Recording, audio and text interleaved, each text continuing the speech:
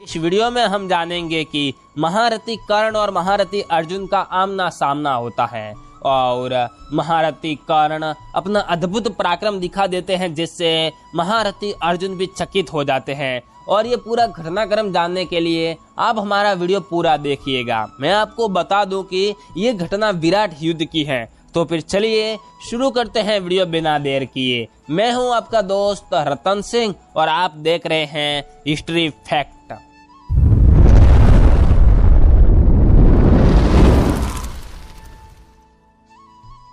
महारथी अर्जुन और महारथी कर्ण दोनों एक दूसरे के आमने सामने थे। उसी वक्त सूद पुत्र कर्ण ने बड़ी शीघ्रता के साथ पांडुनंदन अर्जुन को बारह बाणों से घायल किया।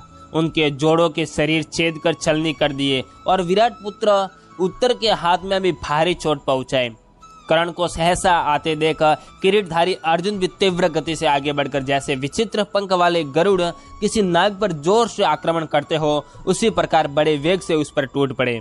वे दोनों ही संपूर्ण धनुर्धर वीरों में श्रेष्ठ, महान, बलवान तथा समस्त शत्रुओं का वेग सहन करने वाले थे।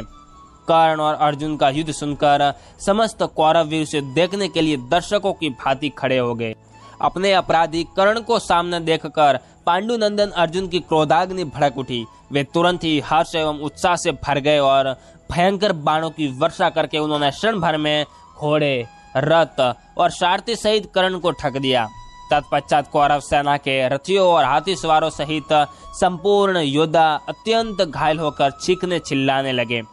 किरीटधारी पार्थ के बाणों से रथ आच्छादित हो जाने के कारण भीष्म आदि सभी महारथी घोड़ों सहित अदृश्य से हो गए।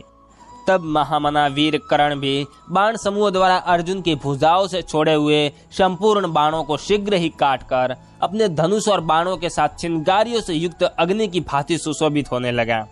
फिर तो वहाँ कर्ण बारंबार प्रत्यंचा खींचकर धनुष की टंकार फैलाने लगा और उसकी प्रशंसा करने वाले कौरवों के दल में हथेली और तालियों की गड़गड़ाहट होने लगी।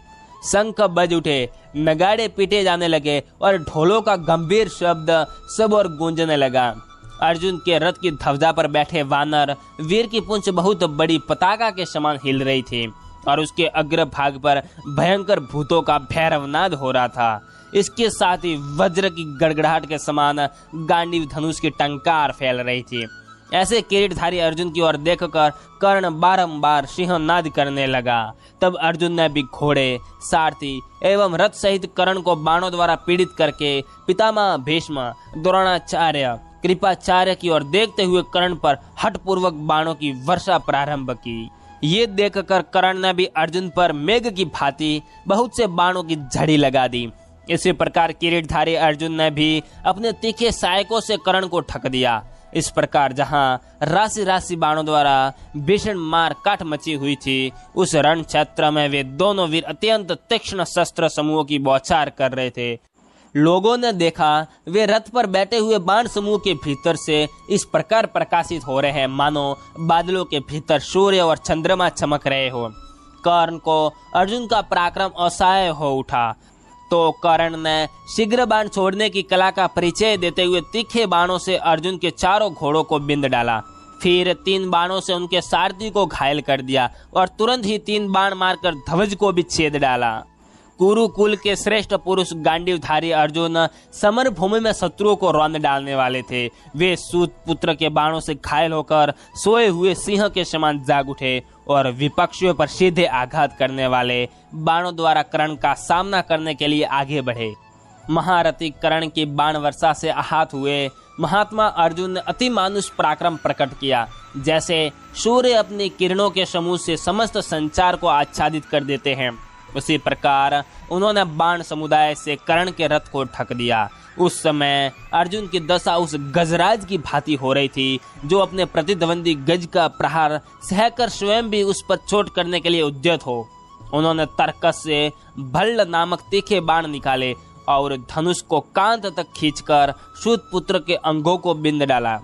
शत्रुओं का मान मर्दन करने वाले वीर धनंजय के गांडीव धनुष से चूटकर वज्र के समान प्रकाशित होने वाले तीखे शायकों द्वारा उस युद्ध में करण की दोनों भुजाओं, जांगो, मस्तक, ललाट तथा ग्रीवा आदि उत्तम अंगों को छेद डाला।